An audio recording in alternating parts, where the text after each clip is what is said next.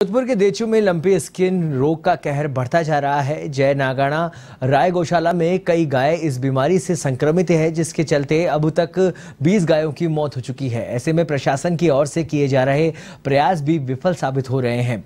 वहीं पशु अस्पताल में उपचार नहीं मिल पा रहा है। गौशाला अध्यक्ष कान सिंह राठौड़ ने बताया कि गायों के इलाज के लिए हर संभव प्रयास किए जा रहे हैं।